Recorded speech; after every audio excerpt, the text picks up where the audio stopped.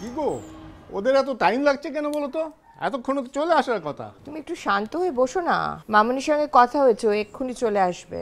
ও তাহলে আমি একটু নিচে যাই বুঝলে? মামনের হাতে ব্যাগ ট্যাগ থাকবে দাদু ভাই আছে একা সামলাতে পারবে না। আমি নিচে আছি। আচ্ছা। দাদা চলুন চলুন। চলুন হ্যাঁ এই দেখো কে দাঁড়িয়ে আছে? দাদু দাঁড়িয়ে আছে তো? এই তোমার দাদু ভাই এসে গেছে তোদের দেরি হলো কেন? আর বলো না। ব্যাগগুলো ধরবো না না। চলো চলো উপরে চলো উপরে চলো উপরে চলো। কে এসেছে দেখো। ওরে বাবা। এই দেখো দিদি ডাকছে। আমার সোনা দাদু এসে গেছে। বাবারে কত পরিশ্রম করে এসেছে। দেখি দেখি মুখটা। উম, বসে বসে একটু বসো আমার কাছে।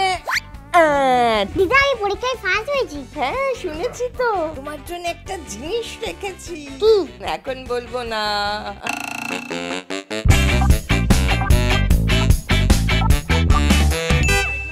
ইস কি রোগা হয়ে গেছে দাদু সোনা?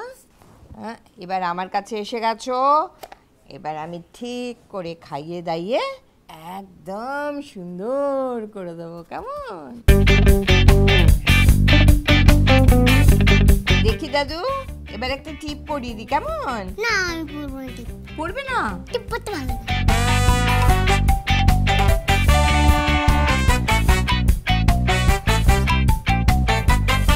ভালো ভাই একটু রিমোটটা দাও তো টিভি দেখব? না, না।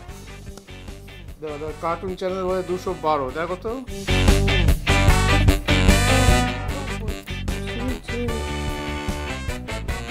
কি রে? তুই সকাল সকাল টিভির সামনে বসে আছিস? তোর সাহস তো কম না? যা পড়তে বস। একটু পড়ো প্লিজ এখন পড়তে ভালো লাগছে না। কত হোমওয়ার্ক বাকি তুই জানিস? সামনের সপ্তাহে স্কুল খুলবে। বাবা জানলে কিন্তু খুব বকবে বলে দিলাম। হাই মামা তুই একদম আমার সামনে দাদু ভাইকে বকাঝকা করবি না। জানো না বাবা ও কারোর কথা শোনে না পড়তে পর্যন্ত বসে না। দিন দিন ওর সাহস বেড়ে যাচ্ছে। ওর বয়সে তুই পড়াশোনা করতি? আমি পড়তাম না। মার বাড়ি যাওয়ার সময় তুমি ব্যাগে জামা কাপড় আগে অঙ্ক বই ঢুকিয়ে দিতে না বলো। তাও তো ওই নম্বর পেতি দূর। ও মা। দেখো না বাবা কি সব বলছে আমি নাকি পড়াশুনো করতাম না। বাহ তুমি কিছু বলতে পারছ না? তোমাদের এই বাবা মেয়ের ঝগড়ার মধ্যে আমি একদম ঢুকতে চাই না। দাদু ভাই তুমি চলে এসো তো এখানে। তাড়াতাড়ি এসো খাবে এসো।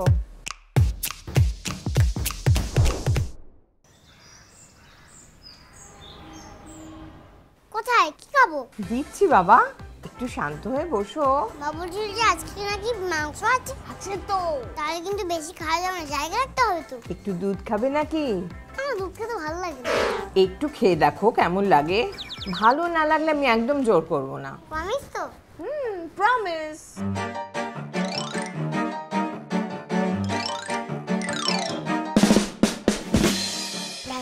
তুই দুধ খাচ্ছিলিস? চকলেট টকলেটও তো নেই। কি হয়েছে ওর? বাবু তোর শরীর ঠিক আছে তো?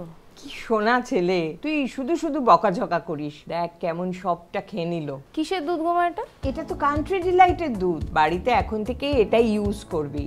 দেখবি ও পুরোটাই খেয়ে নেবে। ও পাশের বাড়ির দিদিটাও বলছিল যে এই দুধটার নাকি টেস্টটা দারুণ। হুম, তোর বাবাও এখন কান্ট্রি ডিলাইটের দুধ ছাড়া কিছুই খাবে না। এক কাপ চা হবে নাকি? দেখেছিস? দেবো তো।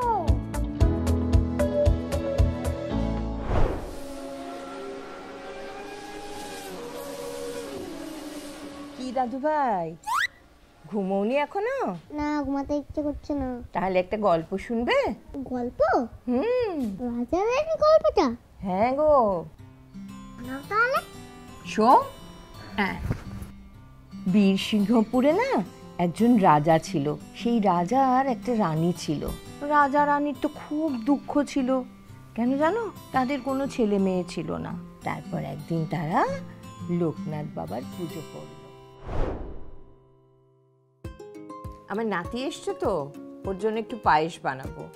ও খুব বুদ্ধিমান জানো তো? নিজে নিজেই সব হোমওয়ার্ক করে নেয়। খেলাধুলো তো খুব ভালো আর ক্লাসেও সবসময় ফার্স্ট হয়। হারি বাবা দিদিমণিরা তো বলে যে ওর মতো ছেলেই নাকি হয় না। গায়ে খুব জোর বুঝলে? রোজ দুবেলা দু গ্লাস দুধ খায় তো। কি বলছেন? আমার ছেলে খেতেই চায় না। তুমি বরং ওই কান্ট্রি ডিলাইটের দুধ নিয়ে দেখতে পারো। খেতে খুব ভালো চট করে খেয়ে নেবে। দেখি দেখি দেখি। ভালো হয়ে থেকো দাদু হ্যাঁ? একদম দুষ্টুমি করবে না। বাড়ি যাব না। আর কটা দিন থাকি না? পরশুদিন স্কুলে কে যাবে? বাড়ি যাব না বাড়ি যাব নাকি? তুই আবার হাসছিস আমার দিকে তাকিয়ে? পাট!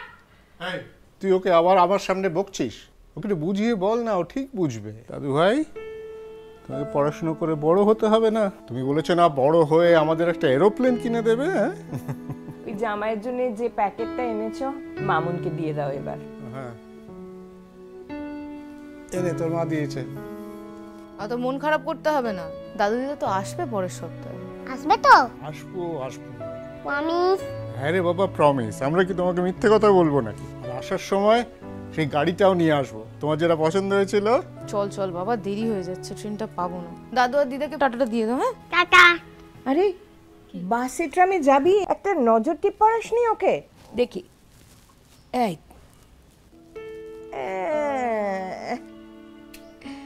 আহ, হাই বাবা হাই